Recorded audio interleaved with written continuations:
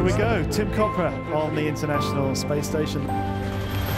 There's Tim Peake, British European Space Agency astronaut.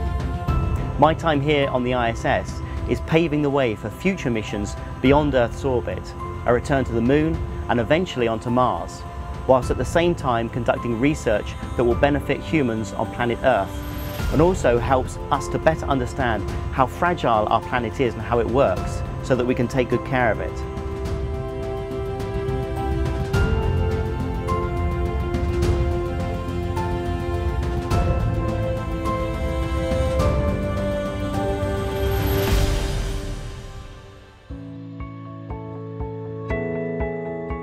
Well, our days Monday through Friday are very uh, well organized and well planned. We normally work about 12 hour days, get up about 6.30 in the morning and at 7 o'clock we start with a, a morning conference, a tag up with all the control centers around the world that support us.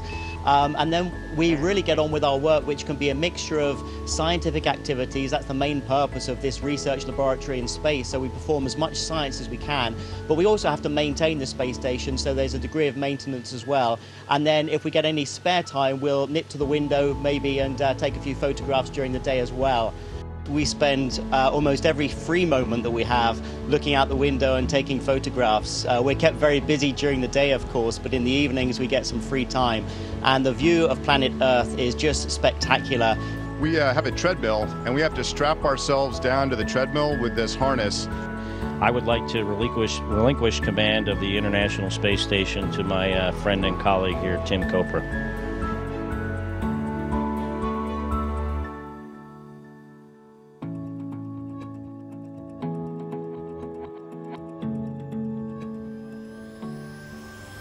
The moment the hatch opened and the airlock flooded with sunlight um, and we went outside, it, it, just felt incredible to be in the vacuum of space and just to have that thin visor separating from you, you and this wonderful, incredible view looking down on planet Earth.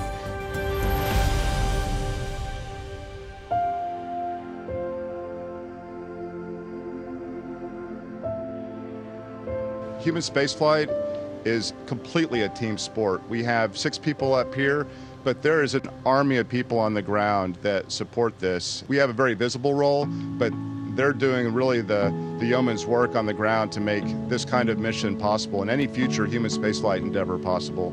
There are a couple of things that have really struck me. First is just how thin our atmosphere is. And I kind of knew that from seeing photographs of other astronauts, but to actually see it yourself, and especially at sunrise and at sunset, and you can see that tiny, tiny band of which our atmosphere is contained in and how fragile our atmosphere is. I just wish that I could bring everybody up on board here to, to look at planet Earth and to see it through our eyes. Um, and really, uh, it's just a, the most beautiful place uh, I can imagine. And it really brings it home how we need to look after each other and how we need to look after our planet. I don't feel any up or down whatsoever. So it doesn't matter what orientation I talk to you in, my body can just work it out.